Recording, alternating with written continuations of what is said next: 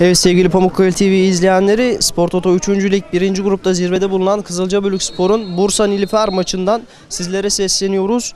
Şu an karşılaşmanın e, başlangıç düdüğü çaldı ve e, maça e, Bursa Nilüfer Spor başladı. Denizli temsilcisi Kızılcabölük Spor karşılaşmaya Mehmet Doğan, Murat Kan, Özkan Taştemur, Fatih Yiyen, Süleyman Olgun, Kerim Bölük, Kıvanç Salihoğlu, Burak Yılmaz, Emircan Sayar, Emre Fırtına ve Emrah Şahin Çiftçi ilk 11 ile başladı.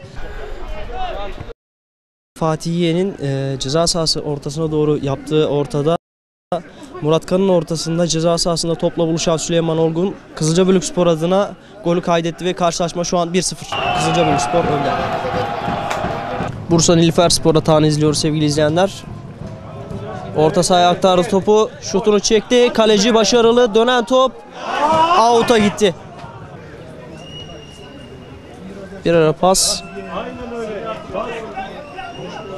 Şimdi bir şut gerilerden top yandan out'a çıktı. Pas ceza sahası içine karşılayan Murat Kan. Emrah araya girdi.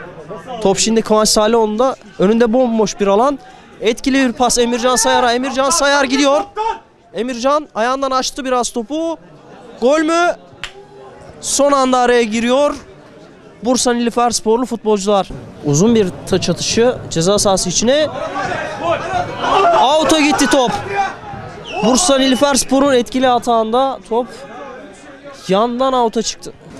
Şimdi topu Emre Fırtına aldı. Arkadan yapılan bir müdahale. Hakem sarı kartını çıkardı.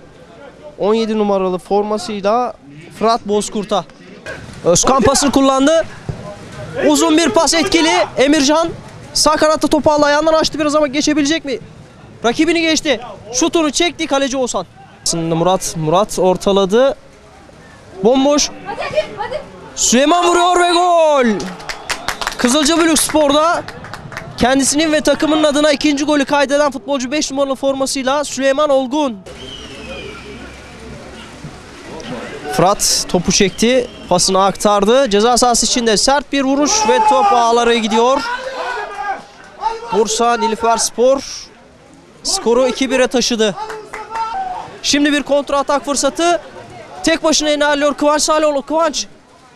Kıvanç rakibini çekti. Kıvanç vurdu üstten out. Kıvanç çok müsait pozisyonda topu out'a gönderdi. Kızılcabölük Spor aldığı bu galibiyetle 3. Lig 1. gruptaki zirvedeki yerini sağlamlaştırdı.